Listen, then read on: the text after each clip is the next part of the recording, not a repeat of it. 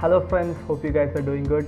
In today's video, we will be discussing about the forgetting curve and why it is actually fundamental to how we learn and how we can approach learning. So firstly, let me just give you a small example, a small experience that I had with the forgetting curve. It was during exam time.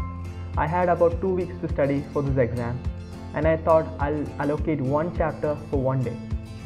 But remember that I never gave any time for actually revising the chapter. So each day I was tackling a new subject, a new chapter. And then what ended up happening was that by the end of two weeks, I had actually completely forgotten what I had studied for the first 10 days. So, what did we actually learn from this? Firstly, I think it was really dumb for me to think that I could just study a subject once, a chapter once, and then not look back upon it once again. The second one is that the forgetting curve. The fact that even though I studied the chapter once perfectly, eventually, because I did not um, review it, I completely forgot about it. So, this is kind of how our brain works. If we do not review the, the, the material again and again, we tend to forget it. So, in order to understand why truly we forget, a German psychologist by the name Ebbinghaus actually did a study. So, in this study, the subject was actually himself, what he did was he memorized a bunch of three letter words. These nonsensical three letter words, for example, lab, dab, cab, which he has no relation to, he wanted to memorize them. And what he found out was that after memorizing all these words, by the next day, by the very next day, he forgot about 75% of the information. And within three days, he actually forgot most of the words that he had memorized. So you can actually guess how much I actually remembered by the end of 10 days of not reviewing the topic. This means that the brain forgets information at an exponential rate provided that it is not recalled or it is not reviewed. When we cram for an exam, the information might be present in our short term memory and we might just muster a pass. But looking at the long game, you know, that information will not be retained for the long run. So, how do we tackle this? How do we prevent this issue? Yes, the simple answer is to actually review the subjects or review the chapters that we are actually studying. It's no rocket science, I'm sure you and me, we both know that. But there's a catch to it. It actually depends on how we review the topics.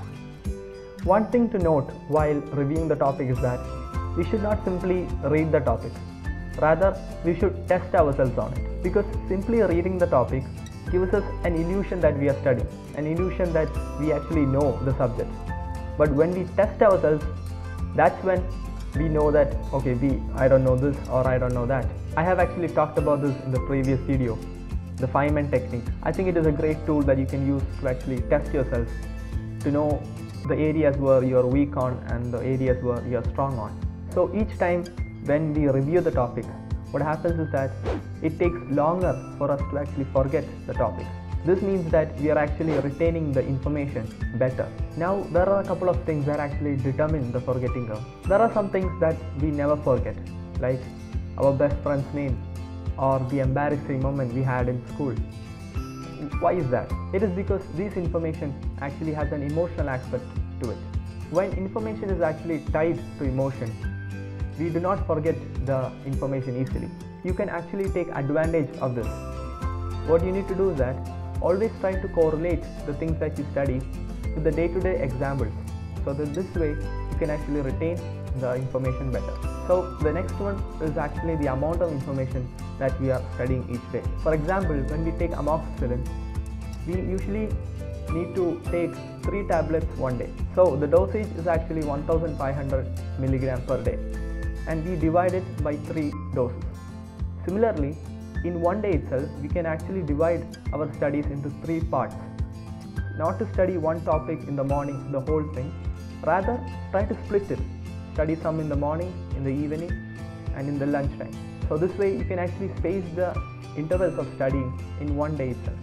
Similarly, taking the same example with the antibiotics, you know, the course of one week, antibiotic therapy for one week, you're not taking it on a single day.